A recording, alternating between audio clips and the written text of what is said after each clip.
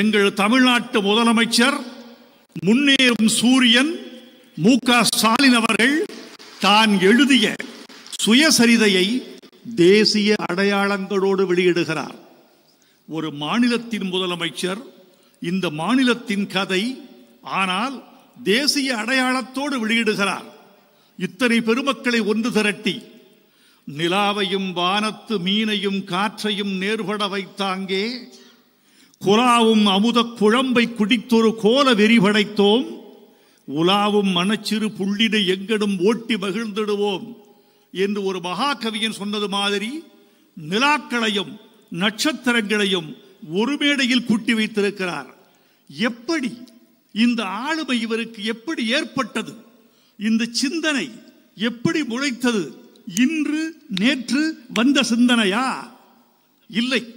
இந்த நூலை படித்தால் எனது இந்த கேள்விக்கு விடை கிடைக்கும். நீங்கள் ஒவ்வொருவரும் இந்த நூலை வாசியுங்கள். இந்த நூலை முழுக்க வாசிக்க முடியவில்லை என்றாலும் முதலமைச்சர் மு க ஸ்டாலின் எழுதியிருக்கும் அந்த முன்னுரையை மட்டும் மனப்பாடம் செய்து தமிழ்நாட்டு பேச்சாளர்கள் மேடைகளில் ஒப்புவியுங்கள். இந்த விஷயம் சாதாரணமாக ஒரு நாளில் தோன்றியதல்ல. ஆயிரத்து தொள்ளாயிரத்து எழுபது பேரறிஞர் அண்ணாவின் பிறந்த நாளை ஒரு இளைஞன் கொண்டாடுகிறார். அந்த மேடைக்கு யார் யார் வர வேண்டும் என்று அந்த இளைஞன் தீர்மானிக்கிறார். தமிழ்நாட்டு முதலமைச்சர் முத்தமிழறிஞர் கலைஞர் ஆந்திராவின் முதலமைச்சர் பிரம்மானந்த ரெட்டி புதுச்சேரியின் முதலமைச்சர் ஃபாரூக்.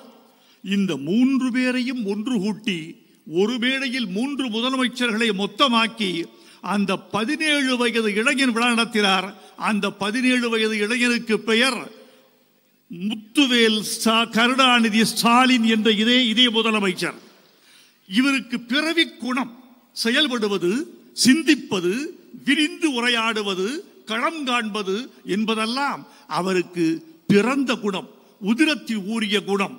அண்ணா பெரியார் கலைஞர் என்ற மூன்று பேருடைய ஆளுமைகளையும் தனக்குள் வாங்கி நடைபோட வேண்டும் என்ற வேகம் அவருக்கு இருக்கிறது. போதிக்க பிறந்த காலம் முடிந்து சாதிக்க பிறந்த யுகத்துக்கு இந்த அறுபத்தொன்பதாம் வயதில் மு க ஸ்டாலின் அவர்கள் எட்டு வைக்கிறார் கடந்த ஒன்பது மாதங்களில் தமிழ்நாட்டை இந்த இந்தியாவை அண்ணாந்து பார்த்து கொண்டிருக்கிறது. எப்படி? சாதனைகள் ஒன்றா இரண்டா? அந்த சாதனைகளை சொல்வதற்கு நான் கலைஞரின் ஓமையைத்தான் கடன் வாங்க வேண்டியிருக்கும். முதலமைச்சர் மு க ஸ்டாலினின் சாதனைகளை சொல்ல வேண்டும் என்றால் ஆயிரம் நாவு படைத்த ஆதிசேஷன் கூட கம்பனிடம் ஒரு நாவை கடன் வாங்க வேண்டியிருக்கும். ஒரு நாள் பார்த்தால் பெண்களுக்கு இலவச பயணம். மறுநாள் பார்த்தால் பெட்ரோல் விலை குறைப்பு. ஒரு நாள் பார்த்தால் ஏழு புள்ளி ஐந்து இடஒதுக்கீடு. மறுநாள் பார்த்தால் இலவச கட்டணம். ஒரு நாள் இந்தியாவிலேயே உயர்ந்த பொருளாதார ஆலோசனை குழு மறுநாள் ஆலயத்திலே தமிழ் அர்ச்சகர்கள் நியமனம். இப்படி தினந்தோறும் தினந்தோறும் ஒரு புதிய சாதனை. நேற்று ஓடிய தண்ணீர் இன்று ஓடிக்கொண்டிருந்தால் அதன் பெயர் நதி அல்ல. இன்று ஓடுகிற தண்ணீர் புதிதாக இருந்தால்தான் அதற்கு பெயர் நதி. இன்றைக்கு ஒரு சாதனை புதிதாக இருந்தால்தான் அதன் பெயர் அரசு. அந்த அரசு என்ற திட்டத்தை முதல் முதல்வர் மு க ஸ்டாலின் அவர்கள் நெஞ்சில் ஏற்றி செயல்படுத்திக் கொண்டிருக்கிறார். இது எப்படி வந்தது இந்த குணம்? இந்த சாதிக்கிற பெருங்குணம் எப்படி வந்தது? எவன் ஒருவனுக்கு கொள்கை பிடிவாதம் இருக்கிறதோ அவனுக்குத்தான் சாதிக்க தெரியும். கொள்கை பிடிவாதம் என்பது ஒரு தமிழச்சியின் கற்பை போன்றது. ஒரு தமிழச்சி தன் கற்பில் எவ்வளவு பிடிவாதமாக இருப்பாளோ ஒரு தலைவன் தன் கொள்கையில் அப்படி பிடிவாதமாக இருப்பான். அந்த கொள்கை பிடிவாதம் எப்படி வந்தது என்பதை இந்த நூலில் ஒரு சாட்சி கண்டுபிடித்தேன். முதலமைச்சர் அண்ணா பதினாறு வயது இளைஞன் அண்ணா உங்களுக்கு பாராட்டு விழா எடுக்க வேண்டும் என்று கேட்கிறார். உடல்நலமில்லை தம்பி போயிட்டு வாங்குறாரு. இல்லை நான் கேட்கிற தேதியில் நான் கேட்கிற இடத்திற்கு நீங்கள் வந்தால் நான் மகிழ்ச்சி அடைவேன் அப்போது அண்ணா சொன்ன வார்த்தை கல்வெட்டில் பறிக்கப்பட வேண்டிய வார்த்தை. அதைத்தான் என் வாழ்வில் நான் கிடைத்த மிகப்பெரிய பாராட்டு என்று கருதுகிறேன் என்று முதல்வர் மு க ஸ்டாலின் எழுதியிருக்கிறார். அண்ணா சொன்ன வார்த்தை சரியா போச்சு. பிடிவாதத்தில் உங்க அப்பனை விஞ்சி விடுவாய் போல் இருக்கிறதே. இது அண்ணா சொன்னது. அண்டா சொன்ன அந்த பிடிவாதம் தான் கொள்கை பிடிவாதம் தான் இவரை இந்த உயரத்திற்கு கொண்டு வந்திருக்கிறது என்று நான் நினைக்கிறேன். இன்னொன்று என்னை போன்றவர்கள் அவரை பக்கத்தில் இருந்து நேசிப்பதற்கும் அவரை மதிப்பதற்கும் இவரை உயர்த்தி பிடிக்க வேண்டும் என்று கருதுவதற்கும் உரிய மிக முக்கியமான காரணம் அவரது மொழிப்பற்று. அந்த மொழிப்பற்று என்பது ஒரு நாளில் இரு நாளில் வந்ததல்ல. அவர் ரத்தத்தில் ஊறி ஊறிய குணம். இதயத்தின் துடிப்பின் ஓசையில் இந்த தமிழ் பற்று கேட்டுக்கொண்டே இருக்கிறது. திராவிட இயக்கத்தினுடைய கொள்கைகள் ஒவ்வொரு தலைமுறைக்கும் கடத்தப்பட்டு கொண்டே வருவதற்கு காரணம் கொள்கைதான். கொள்கை பிடிப்புதான் மொழிப்பற்றுதான் சுயமரியாதை தான் பகுத்தறிவு தான் இந்த கொள்கைகளை தாண்டித்தான் ஒரு நூற்றாண்டு பயணிக்கிறது. அவருடைய மொழிப்பற்று சாதாரணம் அல்ல மீண்டும் நான் அவருடைய நூலுக்குள்ளே ஒரு சாட்சிக்கு போக வேண்டும் என்று விரும்புகிறேன். இங்கே தேசிய தலைவர்களெல்லாம் வந்திருக்கிறார்கள்.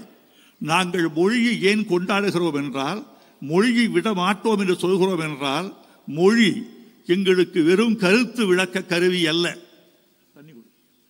மொழி என்பது எங்களுக்கு ஒரு கருத்து விளக்க கருவி அல்ல. மொழி என்பது எங்களுக்கு எல்லை. மொழி என்பது எங்களுக்கு நாகரிகம்.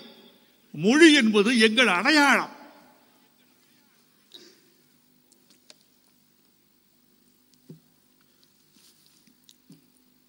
இதற்கு மொழியை நாங்கள் பிடித்துக் கொண்டதற்கு காரணம் நான் சொன்னால் ஒரு தமிழ் கவிஞன் சொல்கிறார் என்று இருக்கும் நான் அரியர் பெருந்தகை அம்பேத்கர் அவர்களை தொலைக்கணைக்கிறேன்.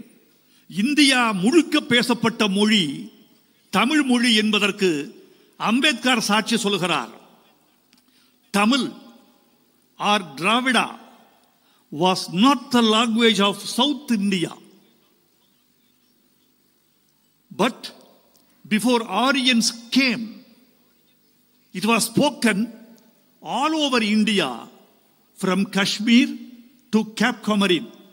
இதை சொன்னவர் அம்பேத்கர் அவர்கள். அண்ணா சொன்னால் நிராகரிக்கலாம். பெரியார் சொன்னால் சந்தேகப்படலாம். அம்பேத்கர் சொன்னார் இந்த கருத்தை. இந்தியா முழுக்க பேசப்பட்டிருக்க வேண்டிய மொழி. இன்றைக்கு முப்பத்தி ரெண்டு லட்சத்து எண்பத்து ஏழாயிரத்து இருநூற்று அறுபத்து மூன்று சதுர கிலோமீட்டருக்கு பேசப்பட்டிருக்க வேண்டிய தமிழ் மொழி இந்தியா முழுக்க பேசப்பட்டிருக்க வேண்டிய தமிழ் மொழி வெறும் ஒரு லட்சத்து அறுபதாயிரத்து முப்பது சதுர கிலோமீட்டர் கொண்ட தமிழ்நாட்டு எல்லைக்குள் சுருக்கப்பட்டிருக்கிறது.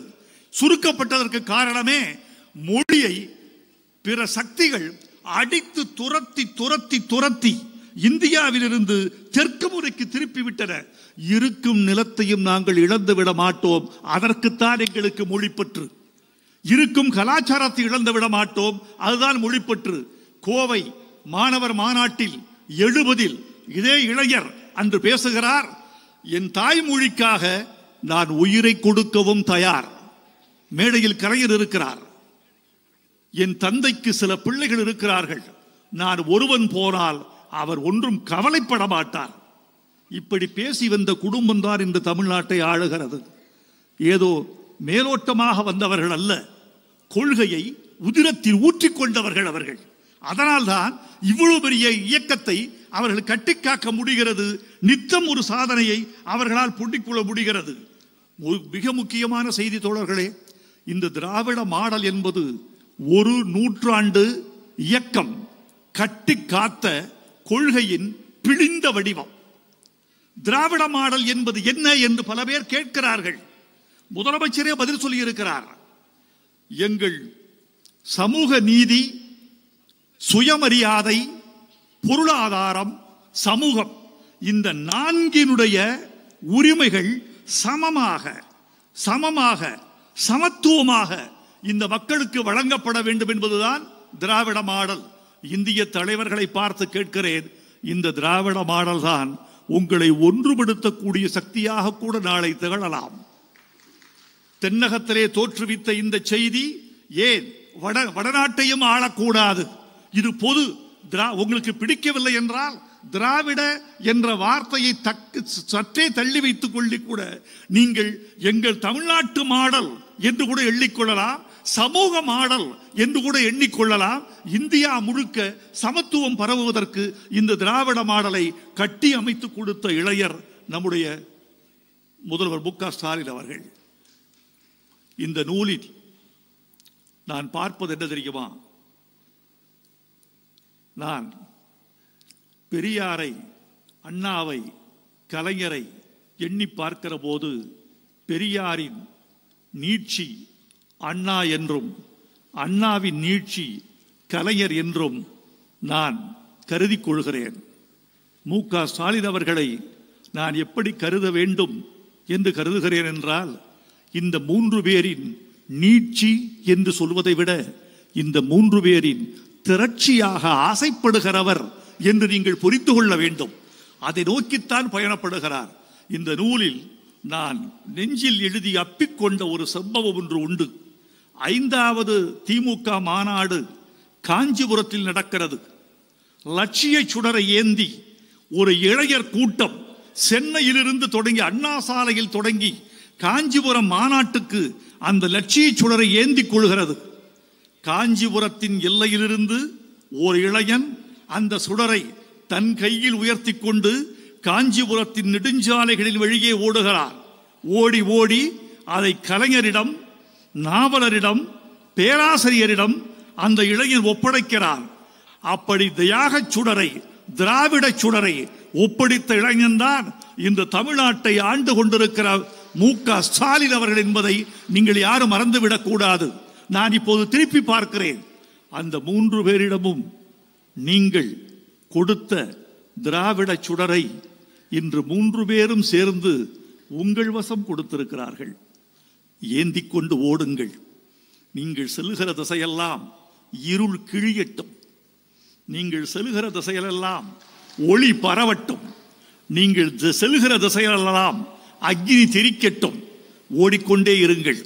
இது கலைஞருக்கு ஒரு நெஞ்சுக்கு நீதி கலைஞரின் நீட்சியாக விளங்குகிற மு. க. ஸ்டாலின் அவர்களுக்கு உங்களில் ஒருவன் ஒரு நெஞ்சுக்கு நீதி. வாழ்க நீங்கள் வளர்க உங்கள் தொண்டு உங்கள் எழுத்து தொடர வேண்டும். ஆறு பாகம் எழுதினார் கலைஞர் அவர்கள். அதை தாண்டி நீங்கள் ஏழு பாகம் எழுத வேண்டும். உங்களுக்கு இயற்கை நீண்ட ஆயுளையும் நிறைந்த சக்தியையும் கொடுக்கட்டும் என்று வாழ்த்தி விடைபெறுகிறேன். நன்றி வணக்கம்.